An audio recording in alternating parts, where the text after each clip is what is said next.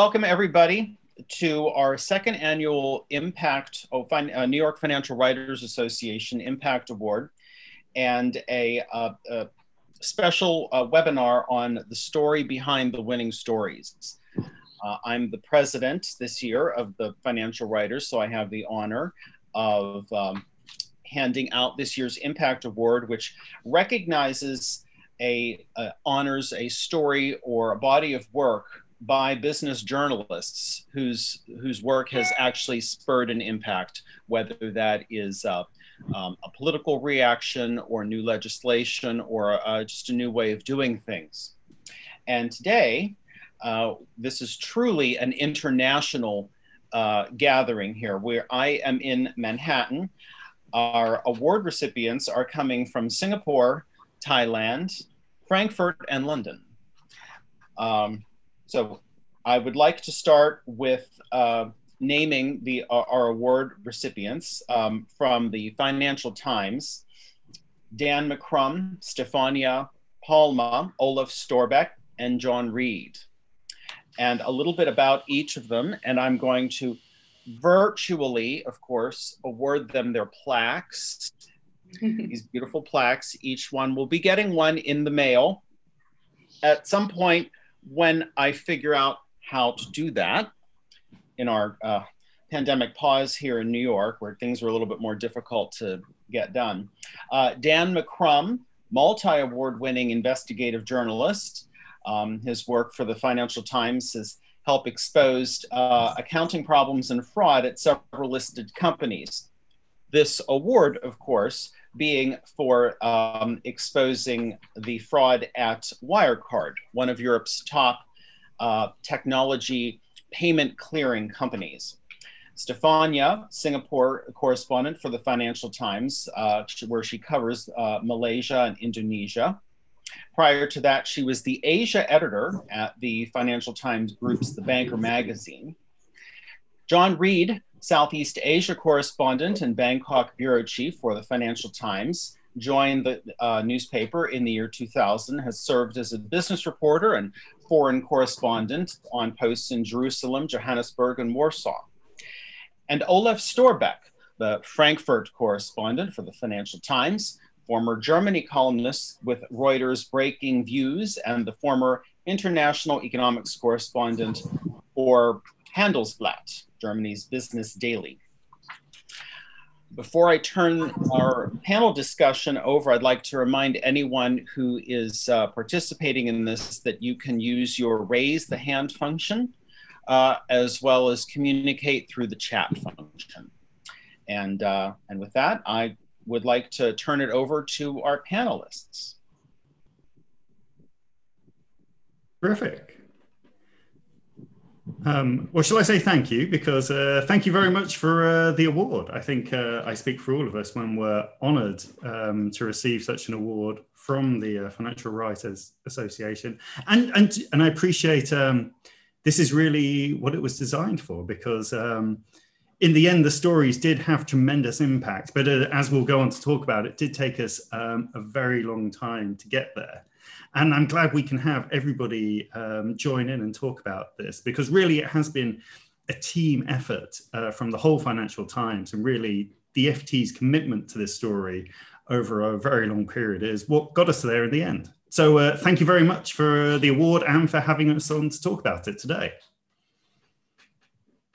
So I was thinking, uh, so we should probably start by explaining to our American audience what Wirecard is, uh, because it's um, is one of those companies which yes. uh, pretty pretty much um, is unknown, even in large parts of Europe, um, but certainly in America. And so it was a it was a payment processing company, uh, but really it's best understood as sort of a tech stock phenomenon. Um, it was uh, it if you attempted to pay for something with your credit card, it would be the company working behind the scenes online to get the money from your credit card issuer to whoever you were buying something from. But really, it spun this story that it had amazing technology and it was doing this faster and better than everyone else. And over time, this, I mean, Wirecard was in operation for about two decades. Um, it became really the next big thing in Germany. Germany has this tremendous manufacturing base and it has all these amazing companies. Um, and I'm sure Olaf can talk about how it was seen within Germany. Um, but I think I'm right in thinking that Germany has a lot of manufacturing companies, but it was seen as this one company that finally was going to challenge the greats of Silicon Valley, and it became incredibly valuable. And uh, Markus Braun, who was its largest shareholder and effectively its founder, uh, became this sort of revered technology visionary. He was going to bring about this sort of cashless society. Um, is that about right, uh, Olaf? Is that, I mean, would you, would you add more to uh, sort of what Wirecard is and setting the scene in terms of the German context here?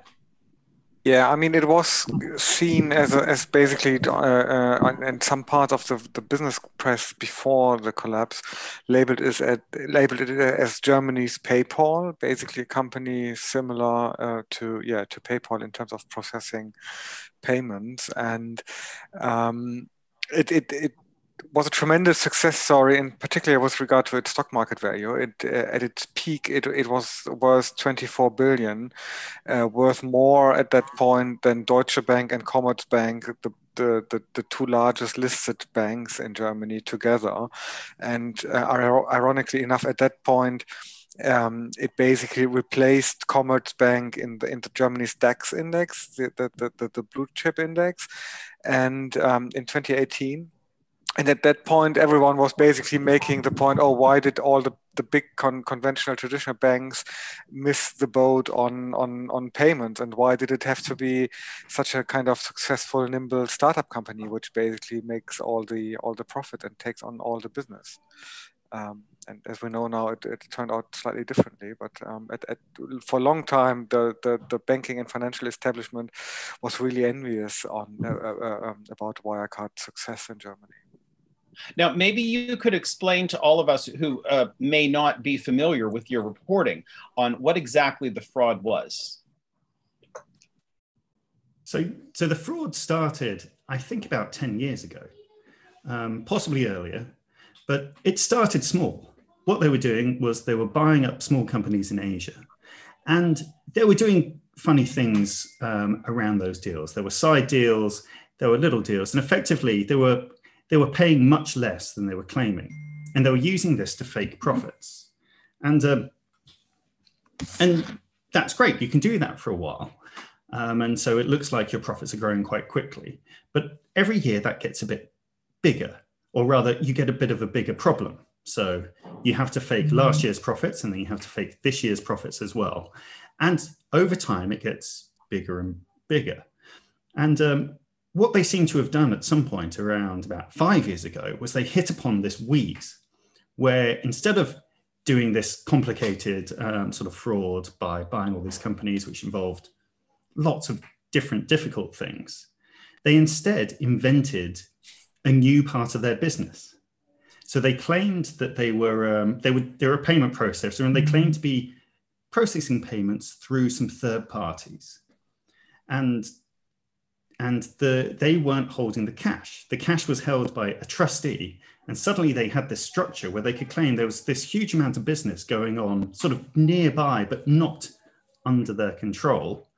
And um, that just got bigger and bigger and bigger until really, um, I mean, I think at the end, um, this was, you know, throwing out all of the company's profits. It was representing half of their sales, and it was an invention.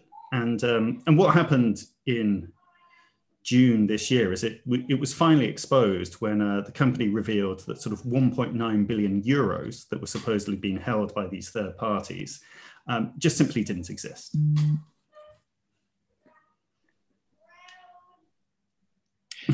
And how did you uh, begin to stumble on this story? What were what were the initial kernels of what got the ball rolling on on your reporting?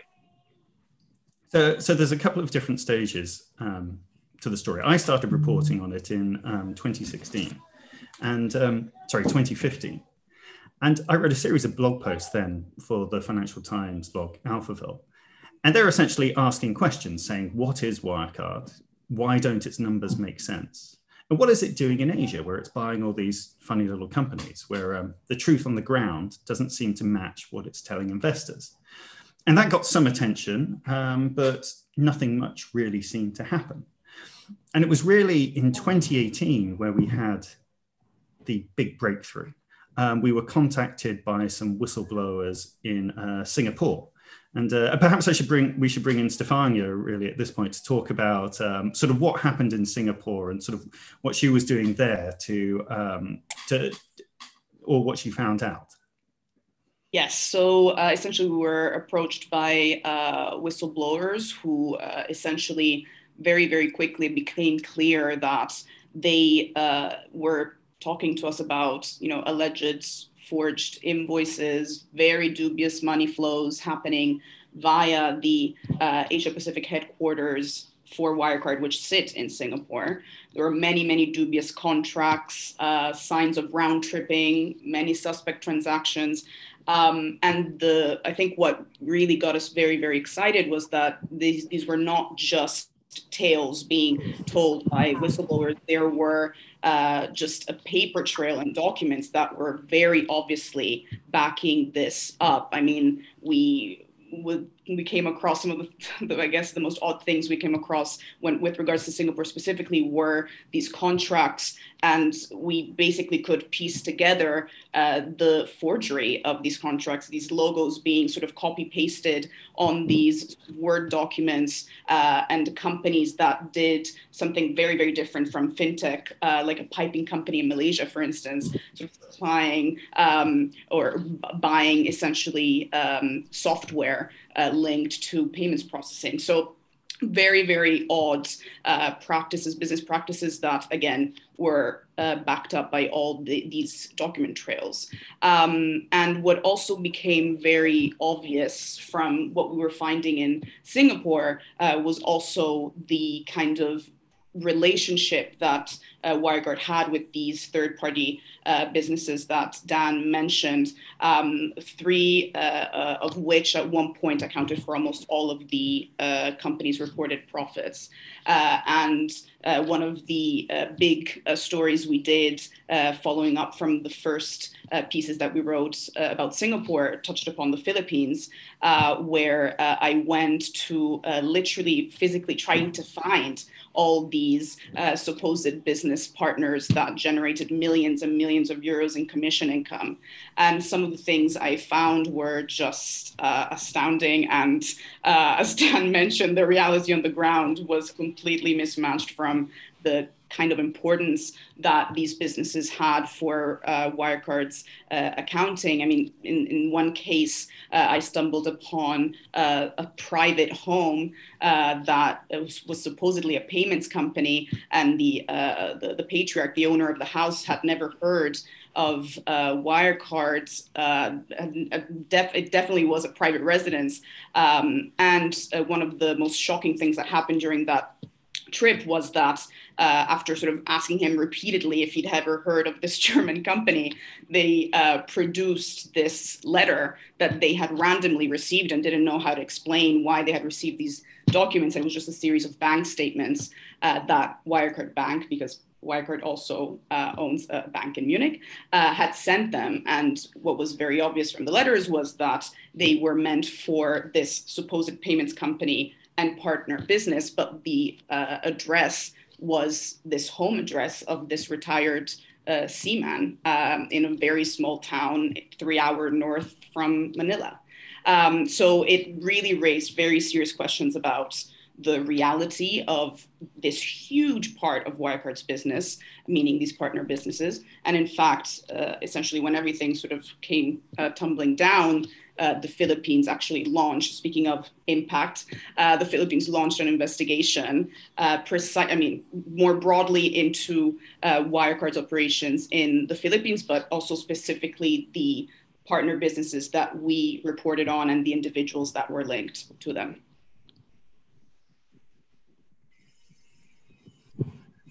It, it's really mind-boggling, the, just the extent of just what was going on.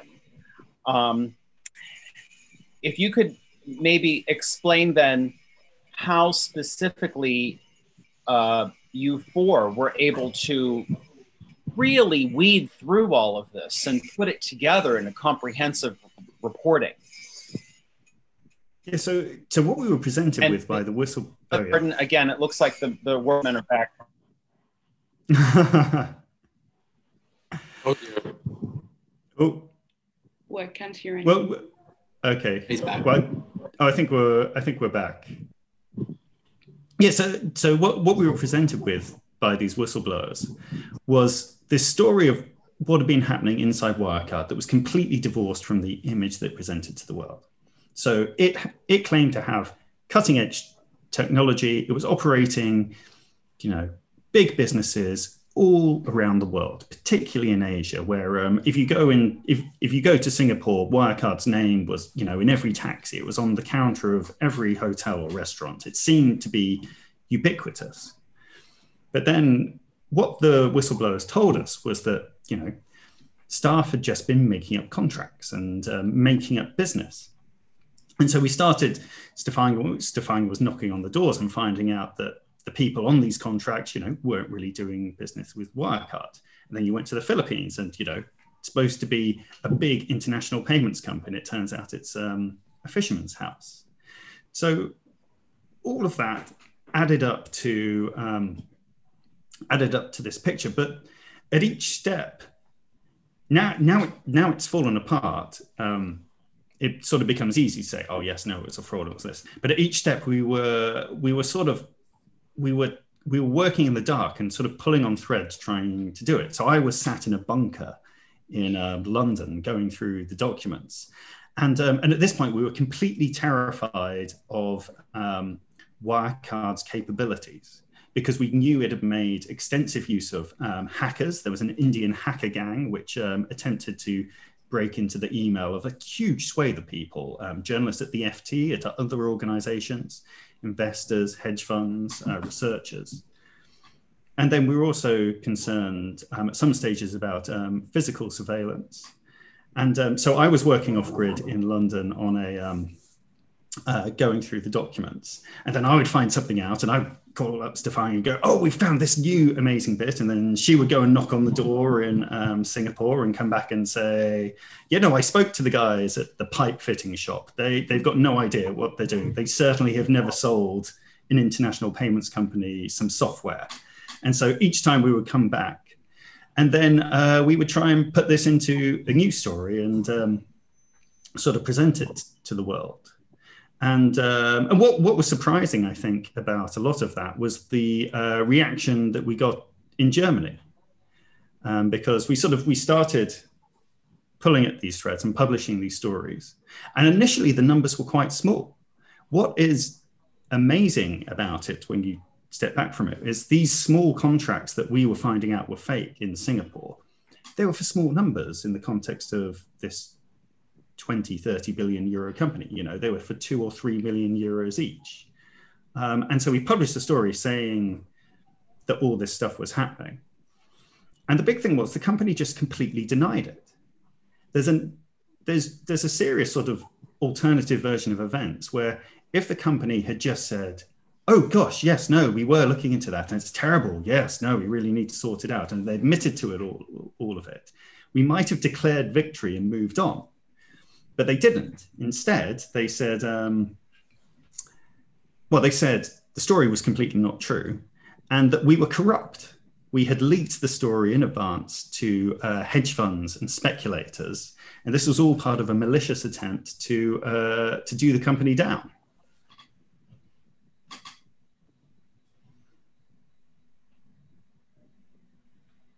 But we. Uh... I muted myself because of the, the workman. we have a question from Tom Herman to all the panelists. Um, well, Stefania, do you know what were the motives of the whistleblowers? Were any of them actually involved in the fraudulent activity? uh, I guess we have to be really careful about what we say about the whistleblowers. Yes. I mean, they're um, so. So I, I think well Go ahead, Dan. I was just going to say that, know that they were fundamental and that they obviously was a massive risk as for any mm. whistleblower to come forward. But Dan, please.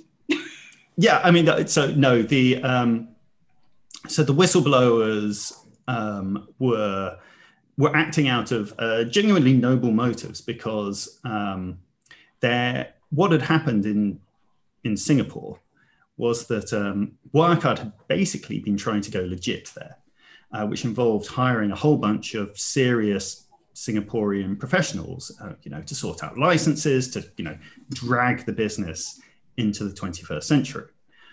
And they started to discover that all this corrupt criminal stuff was going on and launched an internal investigation. And what happened was they found all this evidence, gathered it up, bought in an outside law firm, did everything exactly that um, should have been done. And then it all went to Germany and head office, and nothing happened. The investigation was basically squashed. And then uh, people involved in the investigation were forced out or moved jobs, and uh, the people under investigation were promoted. And sort of that series of events led whistleblowers to contact us and say, look, there's some awful stuff going on. You really need to um, look into it.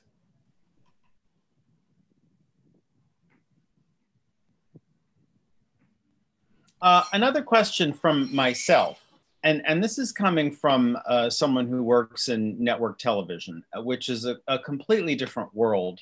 It's still journalism, but um, as someone who works in TV, I have to to to uh, to really tip my hat to you. I mean, we we in television do tend to think of you guys as the real journalists. I mean, you're the ones who are kind of like boots on the ground and really digging through, and then and then after you publish, then we just kind of put together a minute and a half package on it. Um, but in terms of your your daily workflow, I think a lot of us would be curious in terms of this story. How, how, how did you structure your work days around working on this giant story? And like, you know, were you working on other day to day stories while you were working on this? Um, well, I mean, I'll go first. So I I was lucky enough to be dedicated just on this story, um, essentially for the last two years. Um, slightly because once I don't think that was ever the intention, but once it began, it took on a life of its own. But uh, I was very lucky. Um, Stefania, as our Singapore correspondent, was having to do all sorts of things at the uh, same time. I think. Yeah, uh, correct. Um, yeah, so as mentioned, uh, I cover for the FT Singapore, Malaysia, and Indonesia. Um, and even though, I mean, the Wirecard story, very, very quickly, it became clear to me that we were just sort of scratching the surface when I joined Dan into uh, sort of digging deeper on the uh, Asia side of things. But uh, it's absolutely, I needed to continue doing my day-to-day job, which is obviously covering these uh, three countries, one of which has the fourth biggest population in the world, being Indonesia. Um, so it, I have to admit, it wasn't easy at times because obviously you need to continue as a foreign correspondent. Uh, you need to be on the news, not only that, I mean, it's it's more also about maintaining uh, longer term projects uh, beyond uh, Wirecard. So it was challenging at times, but somehow made it work. Uh, was absolutely worth it, obviously. I think we're all multitaskers, and I had to laugh a bit when Matt, when you spoke during your day, because uh, I think especially for Stefania and us, this is something that we've jumped into and, and gone back on our other stories. Um, Philippines is one of six countries that I cover, and I jumped in at the, the, the moment in June when the, the 1.9 billion euros was unaccounted for and started asking questions with contacts I had in the Philippines. So again, we, we do so many things as, as foreign correspondents um, that it, it's, it's a matter of piecing together, piecing together what, what you can when you can. I mean, yours was a fascinating bit of the story, wasn't it, um, John? I mean, do you want to talk about uh, what brought you in and what happened and the, the yeah, I came in. I, I, had the great luck. I mean, you did all the heavy lifting and you know suffered the BaFin investigation in, in Germany and so on. Um, I was called to help when the uh, 1.9 billion euros was unaccounted for. Uh, the auditors had these um, paperwork showing that it was in, in two banks in Manila, and the bank said they knew nothing about it. So we had to get to the bottom of this. I think I recall it was on a weekend uh, to get through to people in the central bank and the justice ministry and find out what they knew. And they said they didn't know anything about it either. Um, the central bank put out a statement actually saying that the money never entered the Philippines. Um, Stefanie and I spoke to the banks, and they said that, that neither of them could hold anything near that amount of foreign currency on account. I mean, the Philippines is, is an emerging market. And um, we, we had copies of some of the paperwork, and, and it, it didn't take long to look at it. I mean, it was fraudulent. They were drawn up in about, looked like 15 minutes, maybe with the help of, well, I won't speculate with the help of whom. Uh, the two banks spoke about rogue employees, um, but it was, it was very easy to see it was a fraud by then. And what was interesting was the Philippine officials were very eager to dis- distance themselves from it and to say that they weren't, you know, the country was not a haven for this kind of activity.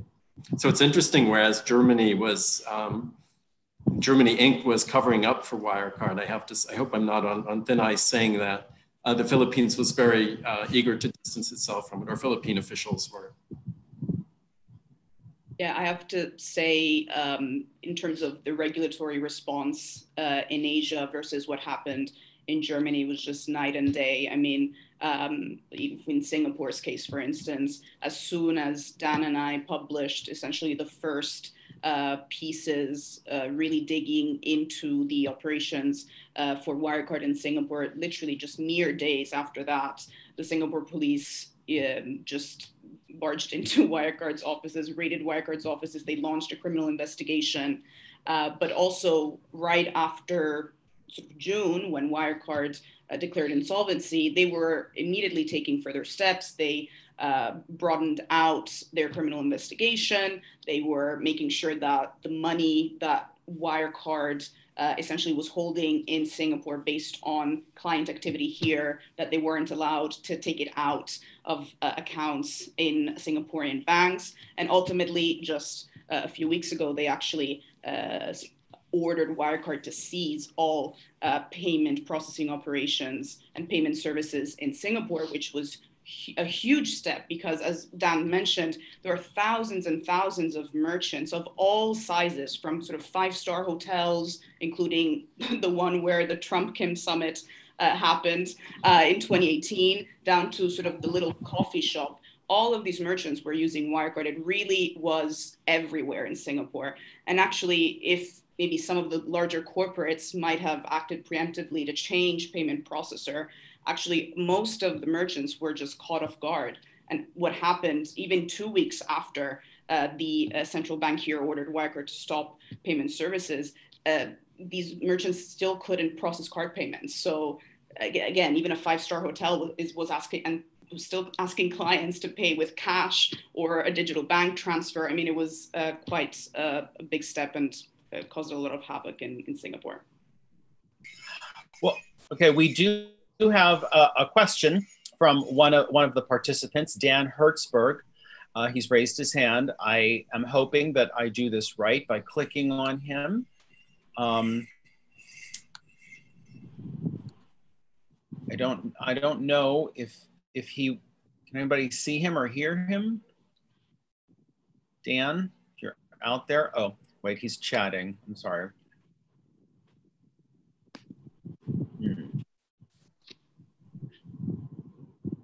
Uh, sorry. Um, Dan, if, if you're if you can hear me, if you could just type your question, I guess I, I don't know how to actually put you on, but Cesare is asking a question. Can you talk about what you called one of the boldest pieces um, in the in, uh, in of journalism in the Financial Times' history, the decision to publish the actual spreadsheet with the names of fake clients and revenues, uh, including alum. What was the decision making behind that, and how did you manage to do it while protecting the whistleblower source?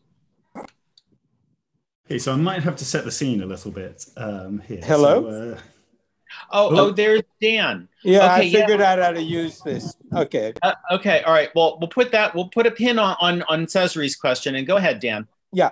Um, you know, uh, we're sort of used to regulatory capture and all of that, and you know, mild regulation like London and things like that. But the German, the the, the German situation that the regulators, what they did, is really extraordinary, and to actively investigate the FT rather than dealing with this fraud, has anyone gotten to the bottom of how that happened? I've seen some stories, some about it, but have you gotten? I mean, it's really amazing.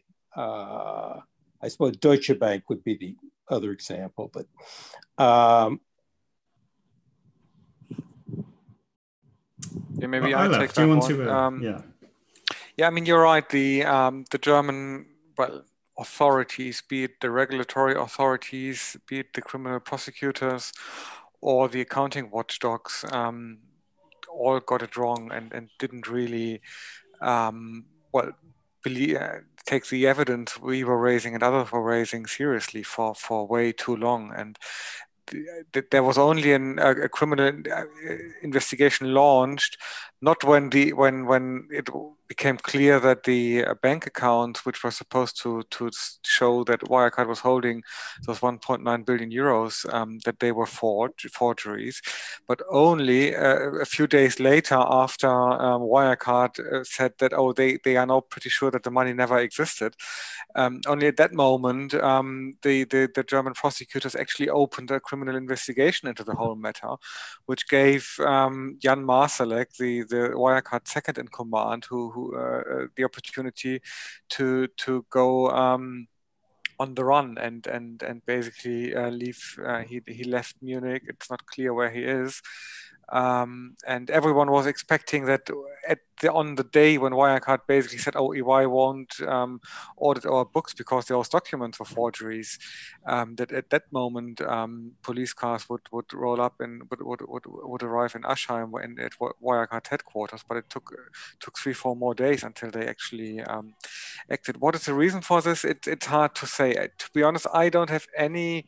There isn't any evidence so far suggesting that they knowingly colluded with Wirecard and that, that basically um, regulatory officials or whoever else in in in, in the uh, on on the authority side was actually part of this fraud scheme. It, I think it was a mixture of um, on the one hand being being well proud of this of this apparent successful startup.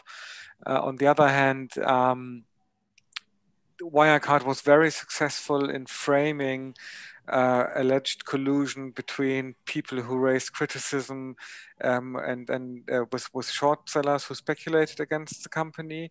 This goes back to 2008 when a German Shareholders Protection Association raised um, uh, uh allegations of, of, of, fraud against Wirecard, and, and, and Wirecard then said, oh, they are, they, they, they are having their own short positions which in in one in a couple of cases was actually true, and people were back then were convicted for for basically um, really short while um, while raising allegations against the company, and and went to jail. So and, they were right, they were right just early.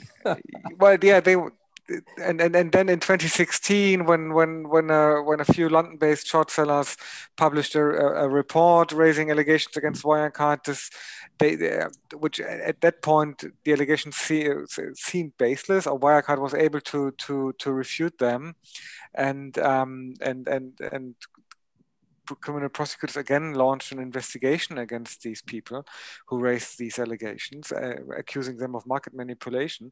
And with this kind of history of apparent, um, well, short attacks, it, it, it, was quite easy, I think, for Wirecard to make this case. And at, at the same time, I mean, they those people, I mean, chief executive or very senior executives, executive board members of of a, of a German blue chip really lying through their teeth in, a, in an ongoing and continuous basis is also something which I think many people didn't just didn't take didn't think was possible. So the the mere fact that the CEO, the COO, oh, went to the prosecutors and went to to analysts, went public saying, "Oh, we we've looked at all these allegations; they are completely baseless." And and and at one point after um, then wrote the story where we published where he published those Excel sheets, which, were mentioned in, in, in, the previous question.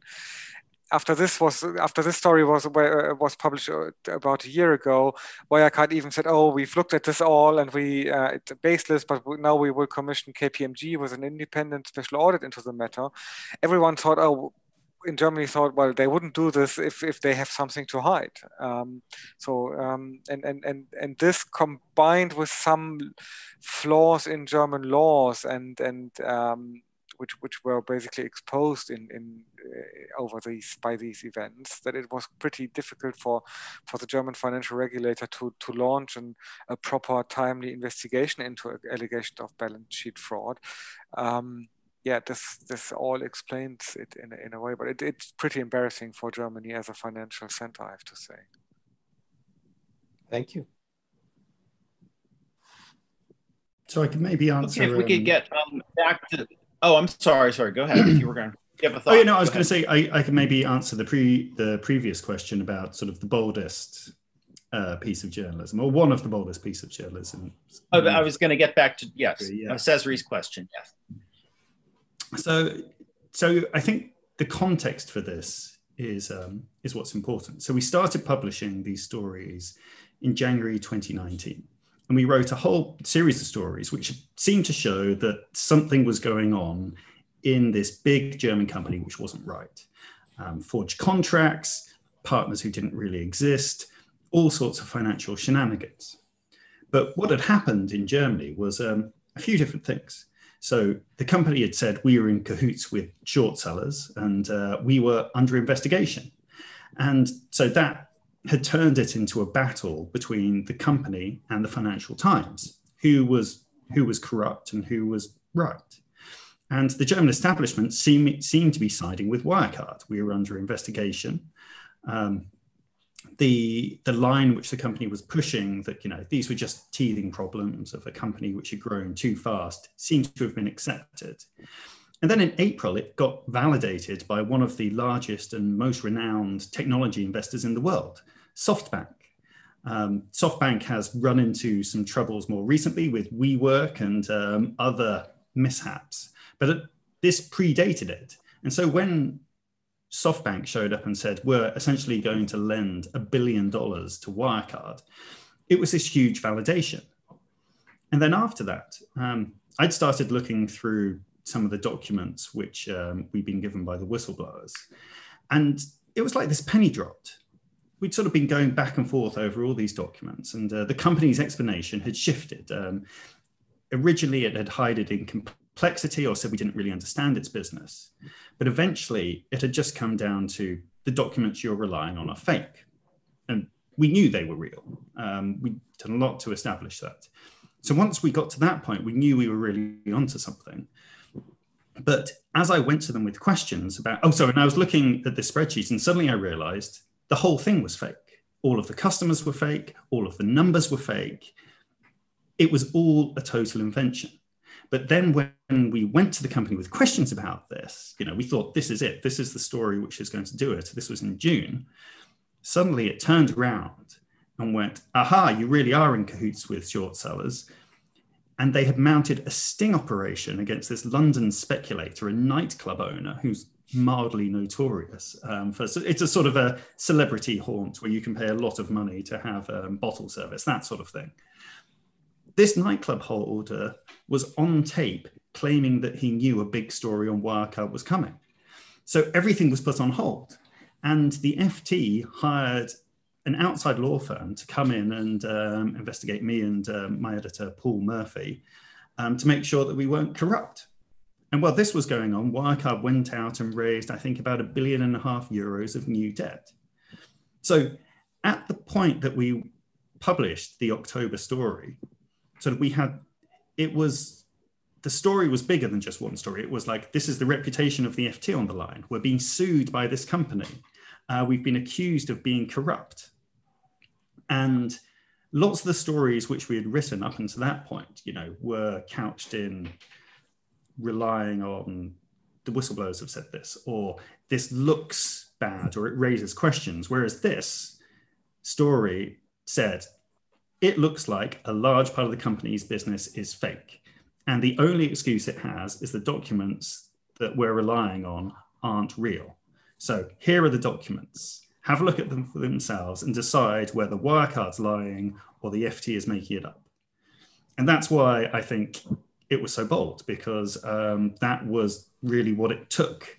And that was the point that we had been pushed to. And I think without the backing of um, the then FT editor Lionel Barber, who, because of all the dirty tricks that we had experienced over the years when reporting this company, including sort of hacking, surveillance, and all the rest of it, I think without his conviction at the time and his backing, then I don't think we would have uh, published that story. um, I have to unmute myself again. Uh, a question to all of you from me.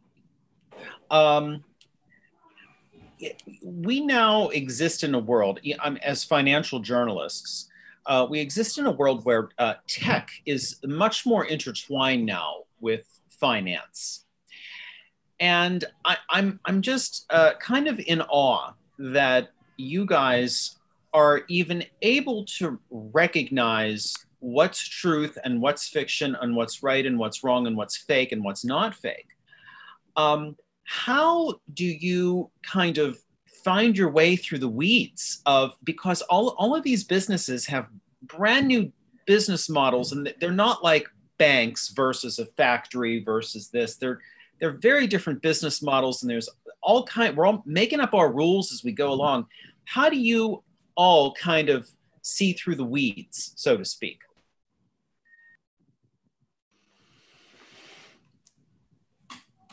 Um, I can take this unless anyone else wants to jump in.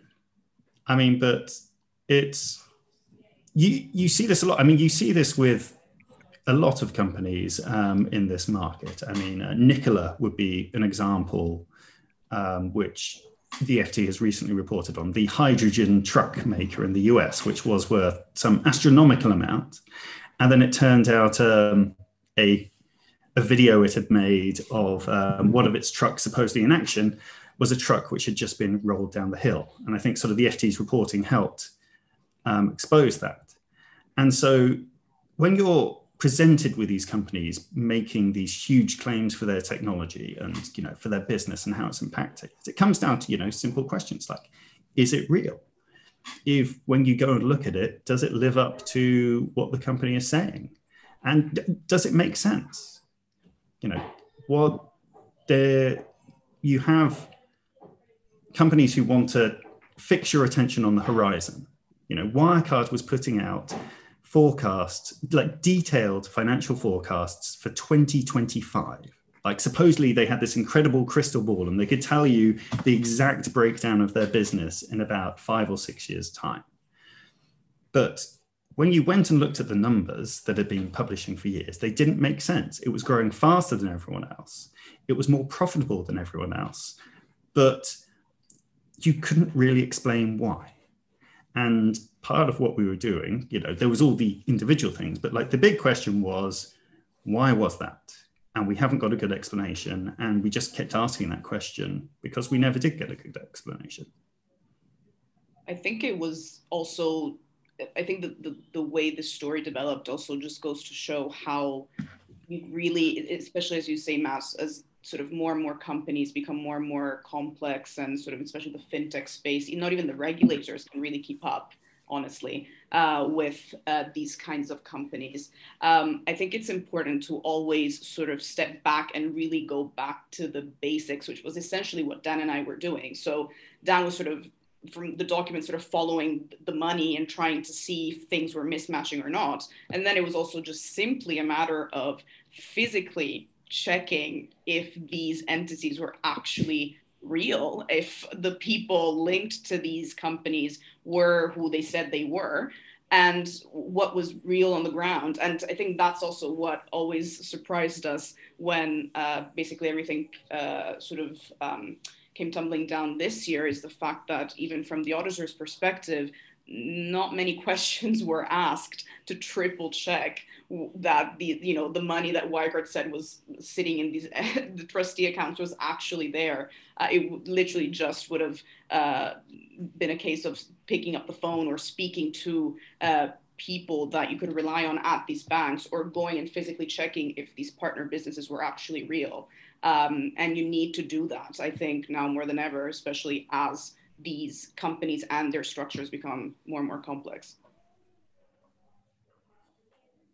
Okay, it looks like we have a question from Tom Herman to all of the panelists. Where are the top executives of Wirecard today? And have any German regulators lost their jobs as a result of this? Yeah, maybe I take that one. Um, so the it's a complex story with regard to the Wirecard top executives. It's it's we have different basically three different uh, uh, situations. So a few of four of them are in, in in custody at the moment while they are being investigated for um, fraud, embezzlement, and and market manipulation, potentially facing up to 15 years in jail if the if the prosecutors can can really nail down the case. Um, this is Markus Braun, the um, the former CEO um, the former um, a former CFO Burkhard Ley, who who left the company, I think in or who officially retired in late 2017, and then became a senior advisor. And we have two other. Um, we have one person who who run one of the kind of fake businesses in in Dubai, who's in in, in custody, um, and the chief of accounting. Um, we have a few other board members who are also being criminally investigated, but but not in custody. Uh, the, the, the last C- CFO of Wirecard and the chief product officer, and then the um, probably the, the most flamboyant character in this whole saga, Jan Marsalek, a 40 year old Austrian um, uh, um, person who who didn't even finish his high school and doesn't have a driving driver's license, but became um, the, the, second in command at Wirecard and and basically, um, yeah, uh, yeah, most probably one of the key masterminds of this whole um, a whole fraud. Uh, he is on the run and nobody really knows um, where, where he's hiding at the moment. Some German colleagues of Süddeutsche Zeitung tried to, to reconstruct Marsalek's, uh, uh, how Marsalek got out of Germany and, and they are pretty certain that he flew via Austria to to Belarus and but but his his, his trace got lost uh, there afterwards. It, there was also quite an interesting diversion through uh, the Philippines, wasn't there, John? That's right. There was. It was uh, turned out to be fraudulent, but it captivated us for a couple of days. There were immigration records showing that he'd flown into into Manila and then left. I think it was two days later um, out of Cebu to China. So we were all chasing after that, but um, it turned out there was it was a fraud on the part of immigration officials um, and a false a false track thrown down by somebody we don't know who. And we should also probably mention the first kind of fatality or death or alleged death, which is um, uh, uh, related to to this um, to this whole fraud scheme. So there was one person in a, a, former Wirecard employee who was based in the Philippines. I'm not quite sure, Stefania, if you visited him as well. Um, I... Maybe you tell the story. Um, yeah i spent a, a, week chasing after like physically chasing after after him uh, to try and find him. Um, and we, we, we spoke on the phone. Uh, dan also in the past had had contacts with him. So he essentially was uh, linked and was essentially responsible for one of the three biggest uh, partner businesses linked to, to wirecard. He was based in manila um, and essentially a few days after um, uh, Wirecard uh, admitted that all this money was was missing, uh, he essentially we, we saw that uh, his uh, wife, who was also involved with this partner business, that sort of doubled their offices doubled up as a bus tour company in Manila. Um, that so she was uh, saying on her social media that he had passed away. Um, and so we scrambled to try and uh, confirm that this was the case. Uh, and also based on uh, some of work that we did on the ground and speaking to the authorities of his local neighborhood, uh, they confirmed that someone by his name and his date of birth and his details had passed away in that part of Manila where he has a house. Uh, and then he was also one of the people that the uh, Justice uh, Department in um, uh, the Philippines were investigating uh, this year. Uh, and they, therefore, we approached them and they in turn check, double checked that the person they were looking for was the person the local authorities said had passed away. and they told us that the two matched. Uh, but it was, I mean, it was quite shocking to us um, when this news came through, because, also because of the timing, obviously. But as of now, according to the Philippines authorities, it is, um, they confirmed that yes, he did pass away. But he was an absolutely critical character. What kind of, because uh, we're, you know, it's different obviously in, in all different countries, but what kind of punishment would he have been facing um, in that part of the world for this? I'm not sure, John, if uh, we have. I don't know what the you know what the the sentence, sentencing would be for that. Don't know the answer to that. I, I don't. I mean, I think he might have. I'm not sure actually. Does the Philippines extradite to uh, Germany? But it, it, his was.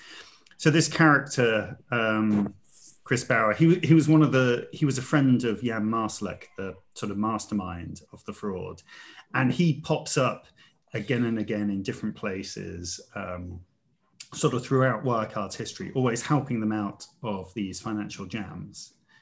And um, and and he officially he is dead, and that is what the family has said. But um, as I understand it, the Philippines does have is somewhat notorious as a place where death certificates can be bought for a few hundred dollars. Um, so yes, there, there is a significant forgery industry there. Uh, but I mean, this Marsalek character, who we've just um, touched on, is like Olaf mentioned. He he's this astounding executive come playboy spy. So he, um, I mean, we are we're still trying to find out more about it, but um, he he was doing things like he seems to have contacts in Russian intelligence, and he has business interests in Libya where um, he was involved in some cement plants.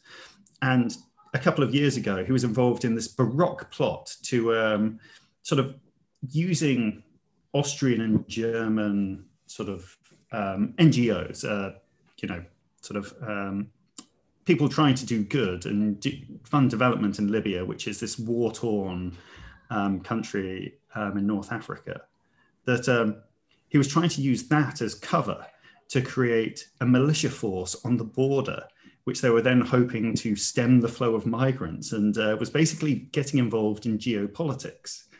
And um, so, all whilst as sort of a sideline to his day job as a senior executive at a German financial institution.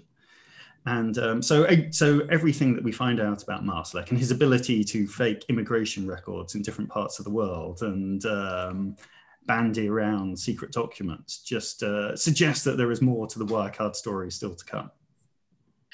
So that leads me into my next question. Actually, it's a question shared by me and by Cesare, uh, who, by the way, I should have pointed out at the very top of this, is the founder of the Impact Award, our previous president.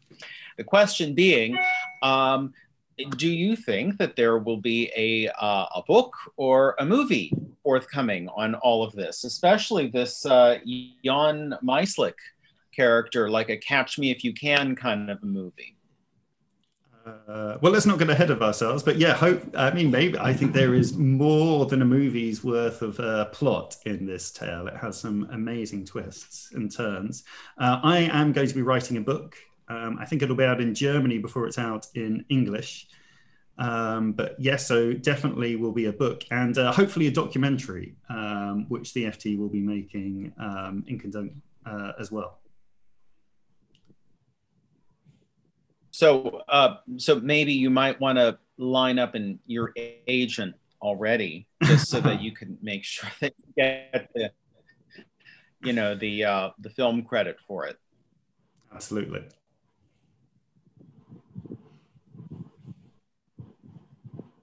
Uh, is there is there anything else that uh, that we we may have not covered in any of our questions that uh, any of you four would like to um, to shine a little light on?